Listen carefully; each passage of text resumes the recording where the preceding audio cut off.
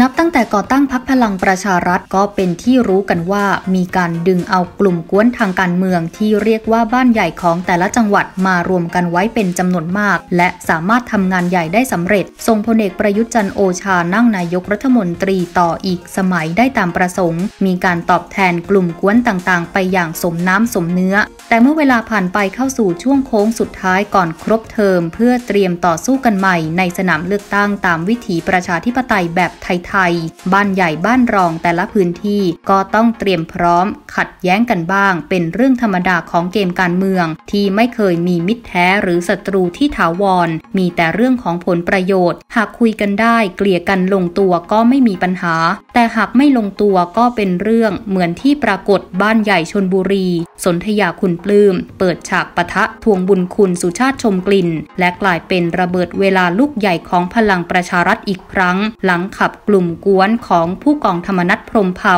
สยบคลื่นลมภายในลงไปได้ไม่กี่อึดใจ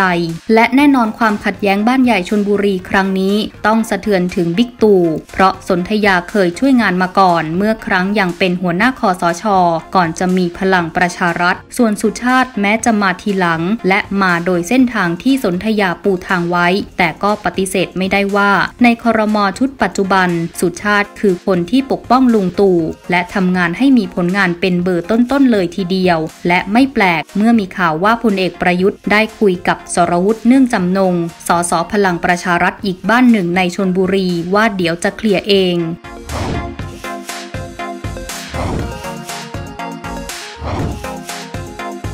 นับตั้งแต่เปลี่ยนแปลงการปกครองชนบุรีมีสสคนแรกคือนายนิติโสรัตส่วนนักการเมืองที่ได้รับเลือกตั้งเป็นสสยาวนานที่สุดของจังหวัด คือนายอุทัยพิมพ์ใจชน 8 สมัย และมีสสหญิงคนแรกคือนางสาวสวรักษ์สุริยาทิพย์ส่วนตระกูลการเมืองของเมืองชนนั้นเดิมทีมีเนื่องจำนงและสิงโตทอง ครองพื้นที่มาก่อน ในช่วงสภาผู้แทนราษฎรชุดที่ 10ถึง16 ประมาณปี 2512 ถึงปี 2531ก่อนที่ตระกูลคุณปลื้มของกำนันเปาะ จะส่งลูกชายสนธยาเข้าสภาได้เป็นคนแรก ในการเลือกตั้งเดือนมีนาคม 2535 จากนั้นคนที่สองวิทยาก็ตามมาในการเลือกตั้งเดือนกันยายนปี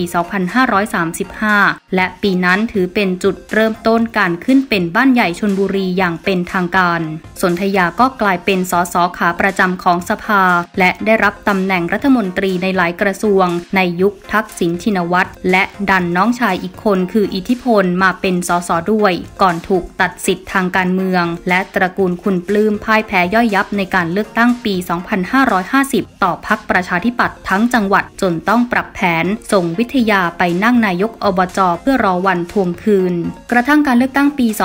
2554 ก็กลับมาได้ ภายใต้สีเสื้อพักพลังชน โดยมีสุกุมลคุณปลื้มภรรยาของสนธยามาลงสนาม และกลายเป็นคนในตระกูลคุณปลื้มคนที่ 4 ที่ได้เข้าสภา และในครั้งนี้เองก็มีสุชาติมาร่วมงานด้วย และถือเป็นขุนศึกคนสำคัญที่ทำให้บ้านใหญ่กลับมาครองอำนาจได้อีกครั้ง จนกระทั่งการเลือกตั้งปี